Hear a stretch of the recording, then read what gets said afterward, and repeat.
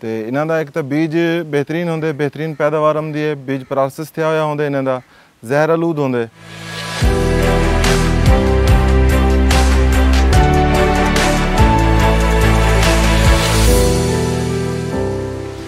ਮੇਰਾ ਨਾਮ ਖਾਲਿਦ ਜਵੇਦ ਹੈ,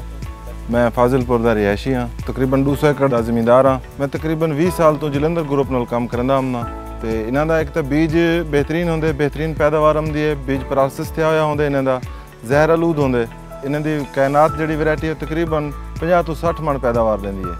ਤੇ ਜਿਹੜਾ ਮੋਟਾ ਚਾਵਲ ਹੈ ਉਹ ਤਕਰੀਬਨ 70 ਤੋਂ 80 ਮਣ ਪੈਦਾਵਾਰ ਦਿੰਦੇ ਮੈਂ ਹੀ ਸਾਲ 150 ਏਕੜ ਦਾ ਚਾਵਲ ਲਾਤਾ ਹੋਇਆ ਹੈ ਜਲੰਧਰ ਗਰੁੱਪ ਦੀਆਂ ਵੈਰਾਈਟੀਆਂ ਕੀਤੀਆਂ ਹੋਈਆਂ ਹਨ ਤੇ ਮੈਂ ਦੋਸਤਾਂ ਕੋਲ مشورہ ਦੇਸਾਂ ਕਿ ਜਲੰਧਰ ਗਰੁੱਪ ਦਾ ਬੀਜ ਇਸਤੇਮਾਲ ਕਰਨ ਇੱਕ ਮਜ਼ੇ ਵਾਲੀ ਗੱਲ ਹੈ ਕਿ ਇਹਨਾਂ ਦੀ ਟੀਮ ਅਸਾਂ ਨੇ ਪ੍ਰੋਪਰ ਤਰੀਕੇ ਨਾਲ ਆਮਦੀ ਰਹਿ ਵੈਂਦੀ ਹੈ ਜਿਹੜੇ ਸਾਕੂ ਗਾਈਡ ਕਰਨ ਨੇ ਤੇ ਜ਼ਾਹਰਾਂ ਦੇ ਇਸਤੇਮਾਲ ਦਾ ਤਰੀਕਾ ਕਾਰ ਦੱਸਦੇ ਨੇ ਥਾਇਫਨੇਟ ਮਿਥਾਈਲ ਇਹਨਾਂ ਦੀ ਰੁਸਤਮ ਜ਼ਿੰਕ ਹੈ इहो जां चीज़ा ख़ुदि अपनी मौजूदगी जो इस्तेमालु करे वेंदा आहिनि असांखे गाइड करे वेंदा आहिनि बहितरीनु पैदावार हूंदी हिननि जी दोस्तनि खां मशवरा ॾिसूं की भई जलंधर ग्रुप में कमु करनि त फ़ाइदा उठाइनि